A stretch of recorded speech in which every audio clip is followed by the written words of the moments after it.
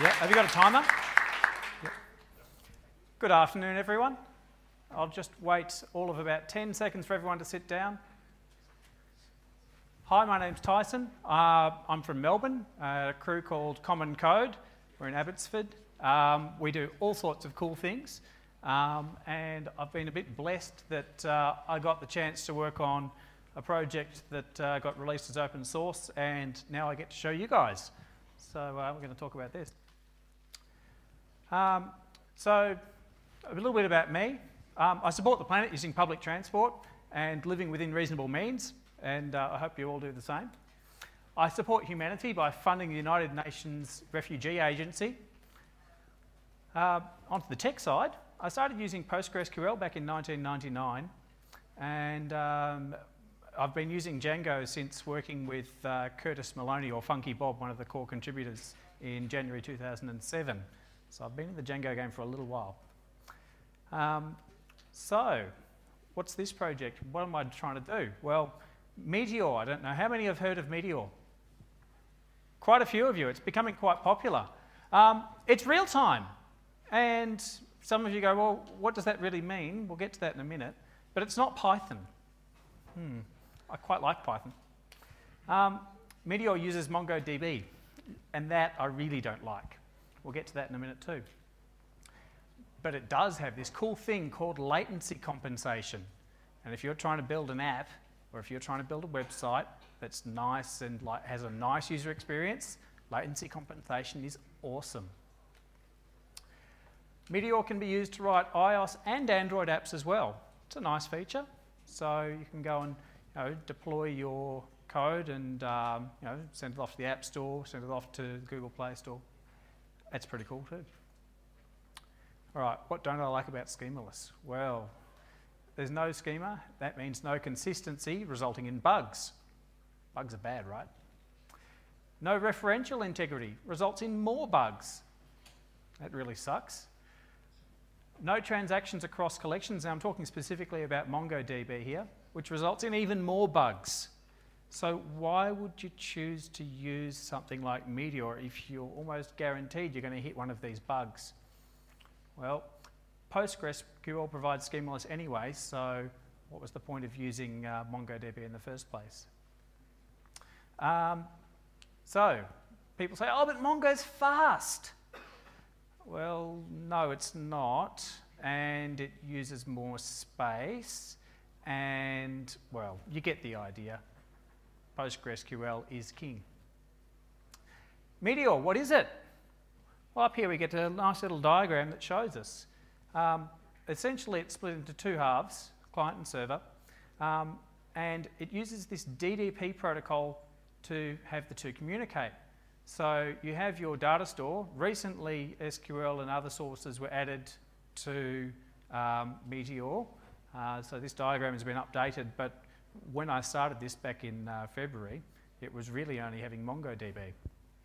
Um, so you've got collections with documents inside your Mongo data store, and you've got a way of publishing uh, information, and then a client data cache um, that resides you know, in JavaScript on the browser or in your app that has local copy of data that can be queried by your JavaScript code. And then you've got templating libraries and all sorts of things on top of that that handle the dynamic nature of your data and saying, all right, if a new object, if a new document gets added to the collection, then it needs to get rendered, for example. All right, and then we've got um, all of your component logic in here for the uh, front end. And then you've got, you know, how you're actually deploying it as a website, or perhaps you're deploying to mobile. So, you know, I, I like what Meteor does on the client side, but on the server side, well, it really sucks. Django DDP, this is what we're talking about today, um, lets you use Django below the line between client and server. This is awesome. So, the basics. It implements a DDP server, like Meteor does. But it replaces the Meteor server, so you're no longer running Node.js on your server. Hooray! We're back into Python. Uh, it allows clients, browsers or apps, to subscribe to publications. And it pushes Django model updates in real time via WebSockets. Ooh, real time WebSockets. But hang on a second, Django doesn't do that, does it? Uh, latency compensated RPC method calls and responses. We'll touch on latency compensation shortly too. So, it's got some limitations at the moment. Uh, it's relatively immature. Uh, the live query work in particular is work in progress. It works, but it's uh, in flux. It's PostgreSQL only. Uh, it's because of one of the technology decisions that I made. Um, and this is a good thing, really. Uh, it relies on Django signals. Uh, there's nothing stopping you from putting um, support in to use PostgreSQL triggers if you want to avoid that or possibly doing some other things. But for the moment, that's a uh, limitation that Django DDP has. Uh, it used to be that it didn't serve Meteor client files, now it does. This is pretty cool. So, real-time and latency compensation. Okay, so a client view will update, we're talking about at the browser side, within milliseconds after data is updated and subsequently dispatched from the server. Oh, that's the whole point of this, right? We want it to be really fast. Right? We don't want to have to um, poll every 10 seconds and then figure out, oh, hang on, you know, the data changed you know, eight seconds ago. We're kind of getting this a bit late. It needs to be really quick. Uh, immediately, the data will be, well, the client view will be updated as client interactions take place. When I say immediately, I mean before the data is even sent off to the server. This has some huge benefits, and you might be wondering, well, hang on a second. What if the server doesn't like what you're trying to do? Well, the short answer is that uh, Meteor, the client side, will just roll back your view state if it sees that the update to the server came back with a different response. So, Python side, how do we make Python do these neat tricks, make it fast and all the other things? Well, we use G-Event for concurrency. G-Event's pretty cool, um, and now it's got Python 3 support, so it sounds like I've got some work to do in making sure that uh, Django DDP supports Python 3. Um, it uses a fast event loop based on libev. It monkey patches the standard library to change all of the blocking calls, for example, a DNS lookup or reading from a file, to instead make them non-blocking and return back to the libev event loop, which is pretty cool. So you get lightweight execution units based on Greenlet and green threads. No callbacks, promises, or other fluff. I mean, Twisted, for example, when you want to write callbacks, you've got this extra layer in between. You can't just write the Python code you used to. Right? You have to go and use callbacks. Well, that means that you're going to have to write a new function declaration and other things, and you're essentially writing more red code. I don't know how many of you are aware of what red code and green code is. Green code is the code that your application absolutely has to run to do the work it needs to do.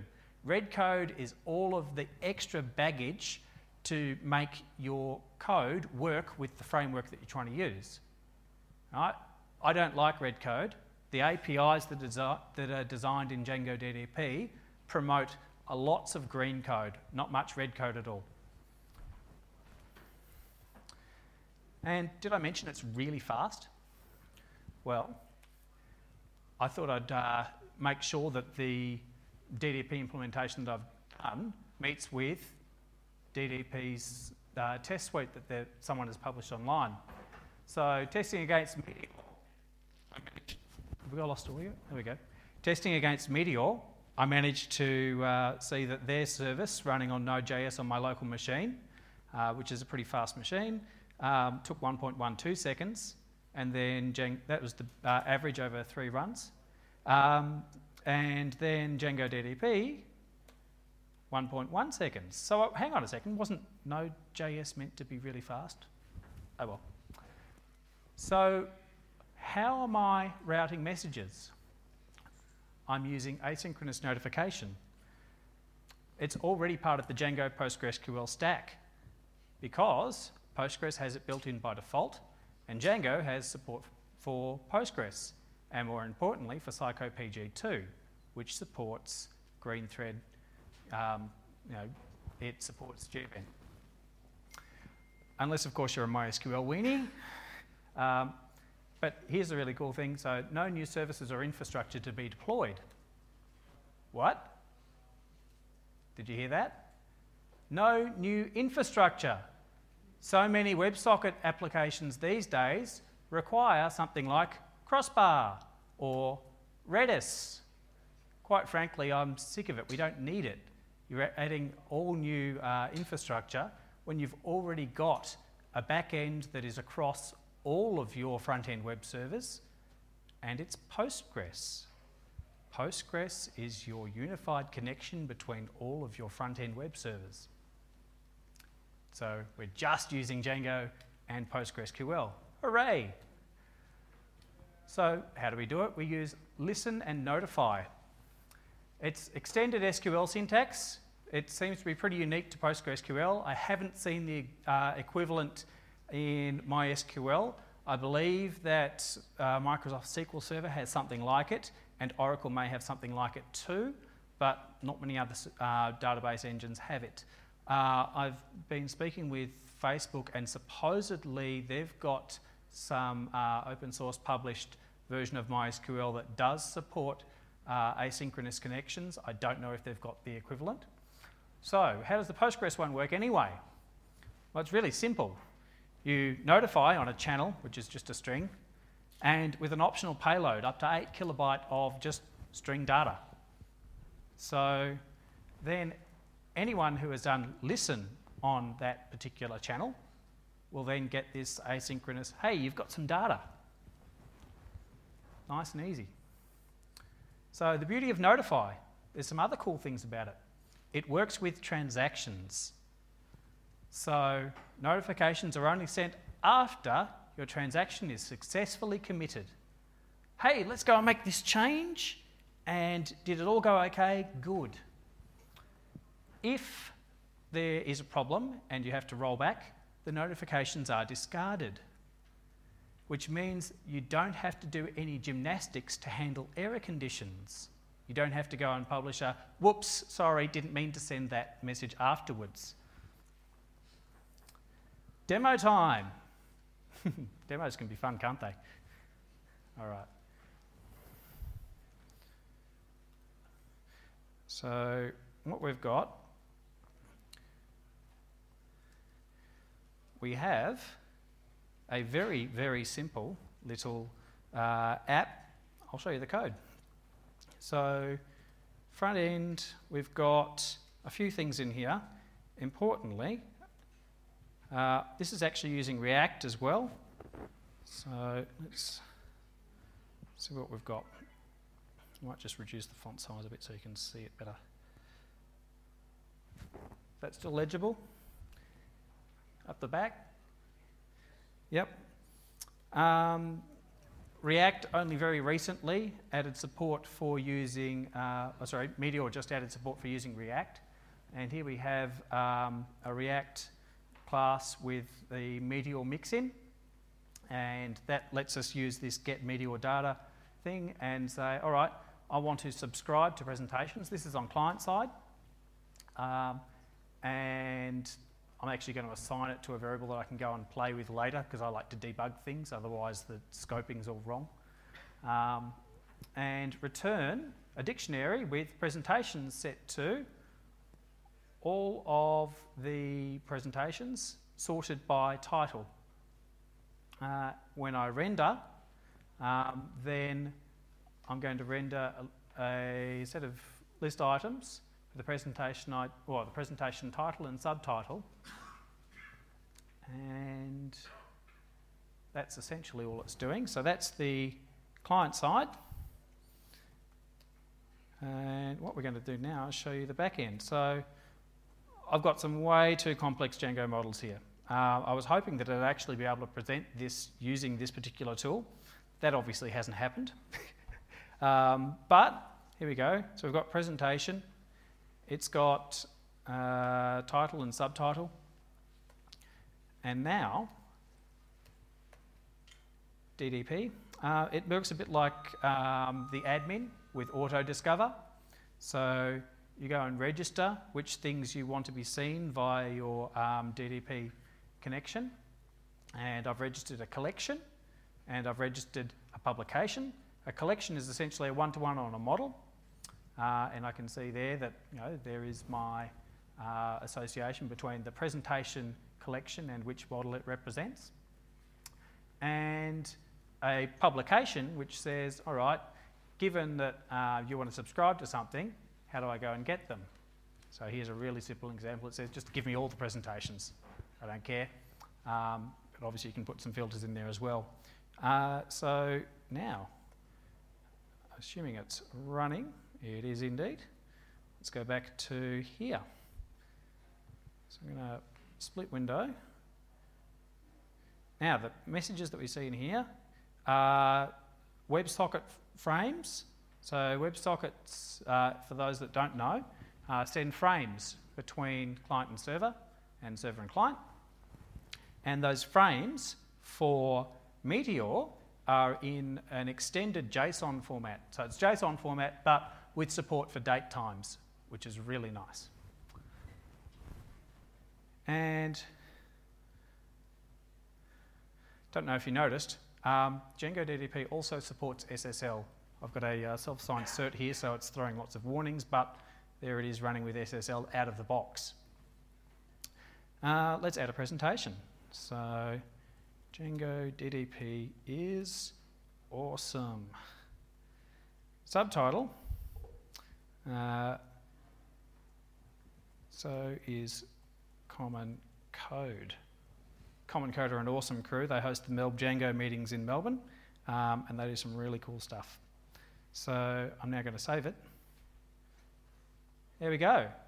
I don't know if any of you noticed, but um, it was so quick that the Meteor side over here on the left actually returned quicker than the admin on the right. Uh, there's lots of good reasons for that actually. So Django to render this view had to go and do database queries and things and essentially go and get all of the data again. But of course, at the time that the data was being saved, Django already had the data at hand at the time of the post. So of course it does a post, redirect and get. At the time that the post occurs, if you've got all the data at hand, you can then send that notify signal to your database all of your web front end servers can then receive that information and then just dispatch it via a WebSocket connection. And then, of course, you get the redirect, and it goes, oh, hang on, I've got to go over here. So that's the response coming back. And then, of course, it does a get, and then goes, oh, hang on a second, I don't know anything about the context of this uh, request, so I'm going to go and get all the information again. So it does a fresh database query. That really sucks for Django um, breaking out of the request response cycle and using WebSockets has allowed us to go way quicker.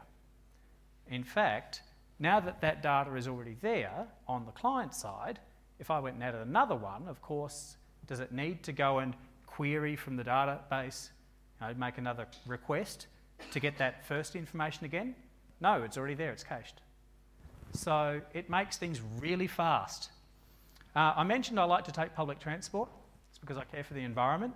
Um, this sort of thing means that your server is under less load.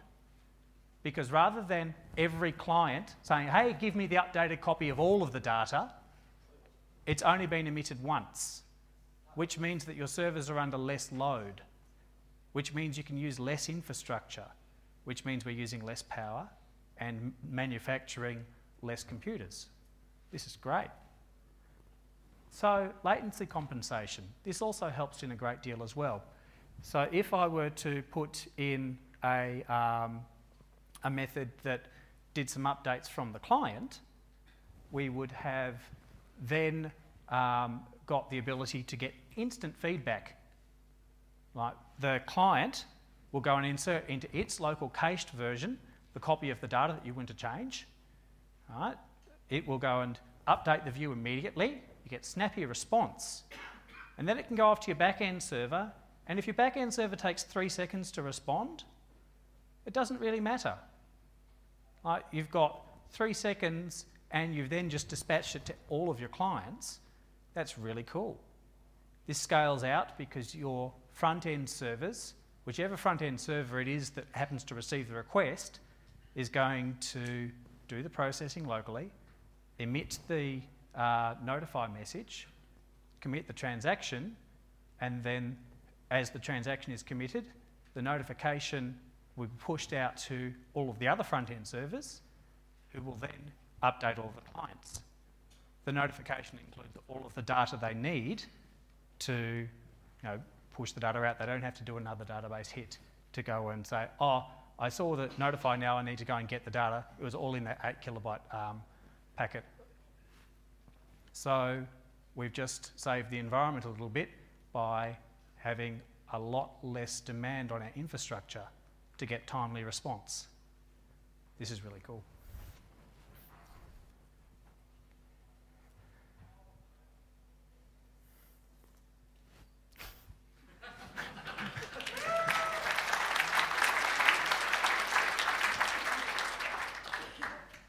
Don't know how we're going for time. I can't see a timer in front of me. Um, but I suppose I can let you go early for afternoon tea and you can get first picks. Um, key learnings from Meteor. The synchronized document ID that they've got is awesome because it allows for latency compensation. Latency compensation, as we've seen, is really awesome.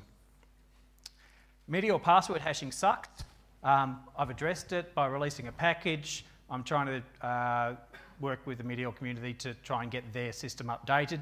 Essentially, they tried to use um, bcrypt and then sort of stopped using it, and now essentially they're just doing an SHA of a password, and every time you update the hash mechanism on the server, they have to update the client and all sorts of funny things. So um, don't do that, just use account secure, it'll work.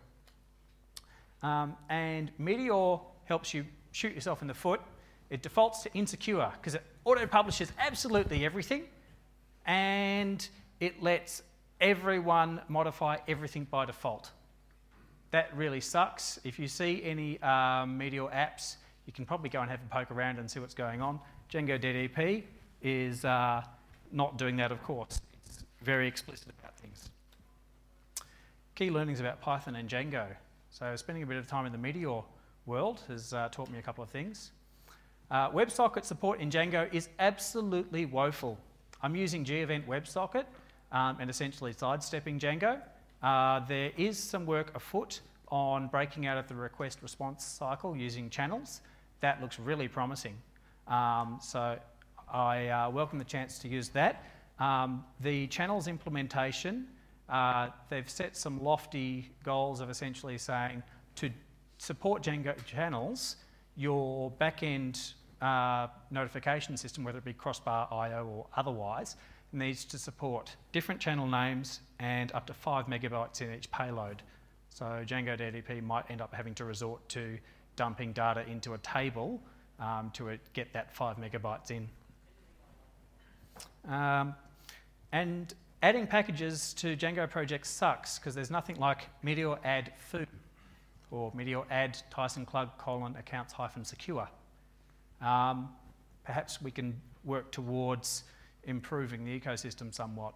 It does make it very easy for new developers to go and you know, plug in new components into their system. Uh, acknowledgements. Meerkat, uh, they've just had their piece of software released uh, yesterday, um, that their MVP, and they've essentially funded this work, and we're very thankful for letting them release this as open source. Uh, who else? David Burles, expert guidance on how DDP works in Meteor. Uh, Brenton Cleland for discussions on the security model for publications. And Mohammed Tanish for the DDP test suite. And Daryl at the front here, um, he's the director of Common Code uh, for essentially providing the motivation and the support to uh, let this happen as well. Uh, Common Code's an awesome place to work uh, will support you in doing this sort of thing. Um, if you're in Melbourne, come and check us out. We host Melbourne Django meetings. Question time.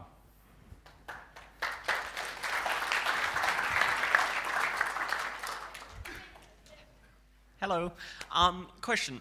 So, say you have uh, multiple servers, each running Django DDP, and um, client A is connected to server A, and client B is connected to server B.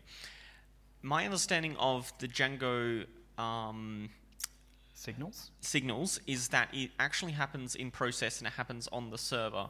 So w- if client if client A and client B with the same with the same server are doing uh, viewing the same page and then you update it and then that sends it, will client B actually get the notification because it won't know all of the clients that are actually connected to it through uh, through server B? So the signals are only used for the pre-save and post-save on the model, which then gets translated at post-save into the notify call, which gets pushed all the way back out to the database and then comes back in um, so that you then see the notification and they all of the servers react from the notification coming in. Right. So there's three database hits. So it will be um, A has signal for pre-save and post-save. Post-save occurs. Yep. Notify happens. Yep. Right. That's as much as Django DDP needs to do. And in fact, you can plug Django DDP in just using that alone. You don't have to do the WebSockets. You can do that much, and then say, all right, we're going to use um, that for our you know big Django DDP, like our main Django project, and not use gEvent and WebSockets in that thing, and then connect to the same database your new Django DDP project and have it do the special stuff. So you don't actually have to do much. If you can just support the signals in your existing Django app, then you can leave that essentially unchanged. You put Django DDP into the installed apps, and that's it. It'll start emitting those notify events for you. And then, of course, yeah, when you've got something listening for them, namely the DDP server itself, mm. then it will be able to do the publications and such for you. Thanks, great talk. Um, is there any already any uh, front-end editing part integrated that you don't have to reload the page on the client side? Uh, so Meteor has what they call hot code push, and uh, Django DDP doesn't support that yet. Um, there's no particular reason why we couldn't, except that I've been focused on production deployments, in which case um, there hasn't necessarily been the need for it. Uh, but certainly, uh, pull requests are welcome. I'd love to see uh, a separate uh, gEvent thread watching the directory structure and pushing out the, the client updates as they occur. Okay, thanks. Thanks very much for the talk. Um, two questions. One, has you ever seen whether it's possible to use multiple DDP servers with, um, with the Meteor front end, or is it just one per? You can. Um, so with Meteor, you can create a new um, connection to multiple servers, and then essentially, when you define your collection of data, um, you specify which connection it belongs to. So, absolutely, yes, that's possible. Okay, cool. Yeah, I just thought you could mix front, um, you know, mix say Django and then Node and stuff like that as well without. Yes, you certainly can. Um, also, there are lots of DDP client implementations out there. I'm not aware of any other server implementations aside from Meteor itself. Um, so there's uh, bindings for lots of different languages if you want to integrate this into something else. Cool. And my second question was um, you're talking about potentially using it in, um, in production from your point of view. I've played around a bit with Meteor. It's been a rough around the edges, both client and server side. How are you guys finding it, especially when you're, say, bolting Django at the back end? Um, we found it surprisingly easy. The Meteor development essentially happens as it normally would, except that they're not dealing with the um, server side code. It leaves your Django devs um, to you know, work on the implementation of API calls and such. Uh, the Meteor side seems to work rather well, and in fact, comments from David Burles, um, rather strong in the Meteor community, seems to be that Django DDP doesn't have a lot of the issues that Meteor has on the back end, in particular with security. Thanks.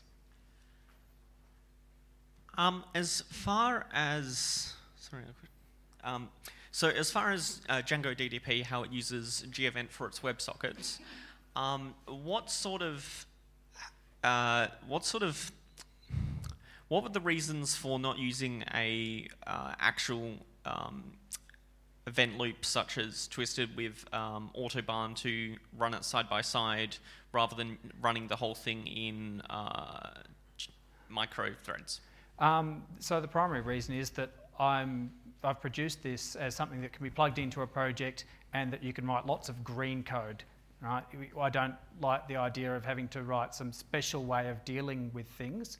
Um, so I'd much rather that the implementation that you know the devs you guys use, if you're going to use this, is very very clean and callbacks can be. Um, they're definitely a departure from what uh, happens in the Python standard library. Uh, they're very new um, for things like uh, the Tulip library, so to speak, in Python 3. Um, but Twisted, uh, there seems to be some sentiment that it is overly complex, and I wanted to avoid that complexity. Okay, um, and as far as uh, callback, the red green code, um, would would not wrapping it in using Crochet, which has twisted in a thread, um, with the call through thread, which lets you do block uh, asynchronous operations in a blocking thing. So there's that very little of that red green code. Um, would something like that be interesting to the project? Certainly. Um, so the gevent WebSocket backend, I can't see any reason why it couldn't be abstracted out and uh, essentially try and work uh, around some of these things. But the monkey patching of the standard library means that um, the Django side of code just works. Um, you know, it can deal with the multiple simultaneous uh, concurrent queries and such, and it just works. Right, cool. Uh, thanks, Tyson. Um, I'm interested in learning a little bit about, um, say, there's the goals of DDP and then uh, WAMP, um, which is sort of a web WebSocket protocols um, implemented in multiple languages. Sure. And um, wondering if you could make a comment about, say, the ubiquity of DDP and what this Meteor and Django combination might offer versus Autobahn Crossbar? Uh, so the requirements for this particular project that this was created for was to essentially integrate with Meteor. Uh, Meteor doesn't use WAMP, which is essentially heading towards standardization. Um, but it's really quite simple. Um, I mean, JSON on the wire makes sense. Um, an RPC method where you can go and call a method make a method call, get responses, um, and then publish and sub oh, subscribing to uh, changes. Um, DDP is actually quite a clean implementation of all of that, including the latency compensation as a factor which uh, WAMP doesn't seem to address, although in theory you could add it to any method call that you wanted to. So, uh, but it would be uh, an afterthought as opposed to a, a there from the start. And would you place a bet on which way to go forward? Well, Django DDP really could have been called uh, Django Realtime because I guess um, there wouldn't be too much involved in making it do WAMP as well. Uh, it would be a bit of a, a bit of work to get it to happen, but I could see that it could easily be adapted to do precisely that. So um, yeah, Django real time, if you want to call it that, but uh, its current name is Django DDP. Okay, thank you very much, Tyson. Thank you.